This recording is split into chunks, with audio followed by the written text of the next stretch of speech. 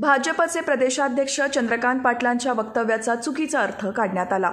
असे म्हणत उपमुख्यमंत्री देवेंद्र फडणवीस यांनी राजकीय वर्तुळातील चर्चांना पूर्णविराम दिला आहे. उपमुख्यमंत्री देवेंद्र फडणवीसांनी पनवेलमध्ये भाजपच्या प्रदेश कार्यकारिणीमध्ये अनेक मुद्द्यांवर भाष्य केलं. तसेच उद्धव ठाकरेंवर निशाणा साधला आहे. उपमुख्यमंत्री देवेंद्र फडणवीस म्हणाले एकनाथ शिंदे हे आपले नेते आहेत. आपल्या सर्वांचे नेते शिंदे आहेत. चंद्रकांत दादा म्हणाले त्यावर वेगळे अर्थ काढले. आम्ही सर्व प्रक्रियेत एक होतो. हे सरकार अडीच वर्षे पूर्ण करेल पण पुढे देखील येईल. राष्ट्रवादी आणि शिवसेनेचे दोन हजार एकोणीसच्या निवडणुकीआधीच ठरलं होतं. तर एकनाथ शिंदेंना मुख्यमंत्री करण्याचं अचानक नव्हे तर आधीच ठरलं होतं.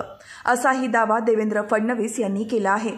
सरकार आल्यानंतर आपल्या अपेक्षा वाढतात. मात्र आपल्याला त्यांना सोबत घेऊन सरकार चालवायचे आहे. पुढच्या अडीच वर्षात कमी अपेक्षा ठेवून एक भव्य सरकार आणू. कार्यकर्त्यांच्या अपेक्षा आहेत पण सगळ्यांचं समाधान होऊ शकत नाही. सर्व नियमांचा विचार करावा लागेल. काही जागा शिवसेनेला द्याव्या लागतील. एकावेळी सर्वांना सर्व गोष्टी देता येत नाही. कुणी नाराज होण्याचे कारण नाही. नाराजी येईल पण आपण ती दूर केली पाहिजे असेही देवेंद्र फडणवीस यावेळी म्हणाले. राज्याची अवस्था पाहिल्यावर वाईट वाटायचे. प्रकल्प योजना बंद आणि भ्रष्टाचार सुरू होता. स्वातंत्र्यवीर सावरकर यांचे अपमान होत असताना तोंड बांधून गप्प बसायचे.